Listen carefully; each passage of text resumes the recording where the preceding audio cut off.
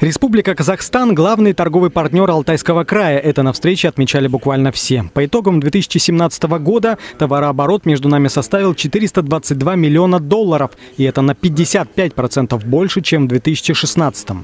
Казахстан сегодня закупает э, наши все сельхозмашины почвообрабатывающие, практически всю линейку, плюс посевные комплексы Алтайского края. В ближайших наших планах поставлять в Казахстан эмбрионы сельхозживотных и продукцию лесного хозяйства. Делать прогнозы относительно товарооборота на 2018 сенаторы пока не решились, но предположили, что при нынешних темпах сотрудничества он как минимум вырастет еще на 10%. Правда, дальнейший рост станет возможным, если наши государства совместно устранят ряд препятствий, мешающих взаимодействию. В первую очередь нуждается в развитии дорожная сеть Алтайского края.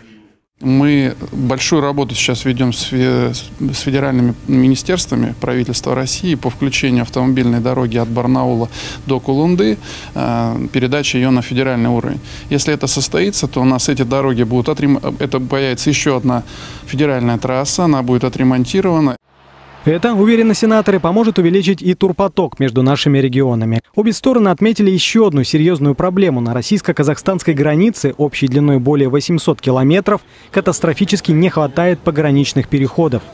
Он где-то живет, ну, ему там 5 километров до своих родственников за границей дойти, так сказать, из Казахстана в Россию. А он вынужден делать крюк, может быть, 90-100 километров для того, чтобы пойти в этот э, выгодный для пограничников переход.